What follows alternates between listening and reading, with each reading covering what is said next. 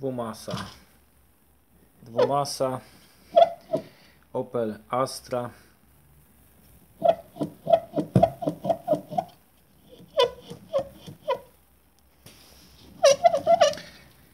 Tak z dwumasami to jest, że nie do końca idzie yy, tak stuprocentowo określić, czy jest yy, zużyte, czy zużyte na tyle, żeby już wymienić. Bo one z reguły nawet nowe mają jakieś tam luzy, które na zdrowy rozsądek dla mechanika są za duże. Zdarza się, że dwumasa nie ma w ogóle tutaj luzu i pięknie y, odbija w jedną i w drugą stronę, albo w jedną stronę przynajmniej tam, gdzie, y, gdzie ma kierunek pracy silnika i ładnie tak sprężynuje i cichutko pracuje. A nieraz nowe już ma około 10 mm luzu i uderza dość metalicznie i nadal jest to uważane za poprawne. No ale jeżeli o takie dźwięki się zdarzają, albo jeżeli jest taki luz już jakby na boki, czy tutaj jakieś takie dodatkowe dźwięki się pojawiają, no to niestety yy, dwumasa jest do wymiany. Ja tutaj y, zamiast dwumasy wstawiłem sztywne, czyli tradycyjne koło zamachowe i e, oczywiście docisk i tarczę też do tego kompletu. Wtedy każda część wygląda trochę inaczej. Przede wszystkim tarcza sprzęgła. Jeżeli jest dwumasa, to najczęściej jest bez sprężynek.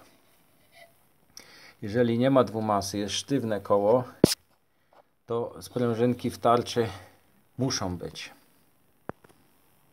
O tutaj pokażę. To jest typowa tarcza, która współpracuje z dwumasą. I skoro dwumasa ma tłumić jakieś tam drgania, to uznali, że w tarczy już nie musi być tłumika drgań.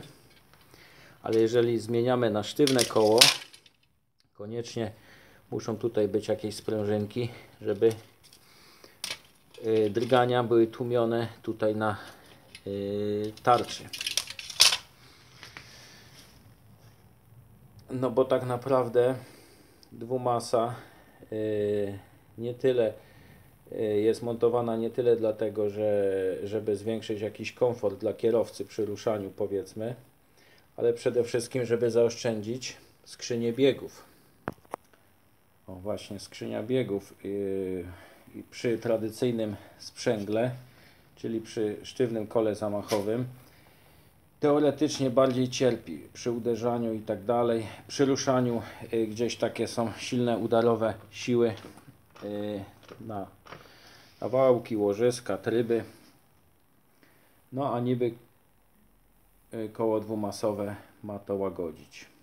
Ale jak jest naprawdę, to wszyscy wiemy dobrze przy spokojnej jeździe lepiej e, sobie przy wymianie nie wchodzić w koszty, bo koło dwumasowe jest przeciętnie przynajmniej dwa lub trzy razy droższe od zestawu kompletu sztywnego koła zamachowego. Jeżeli nie chcemy sportowo jeździć, to lepiej E, lepiej się zastanowić, czy nie zmienić sobie na sztywne koło zamachowe.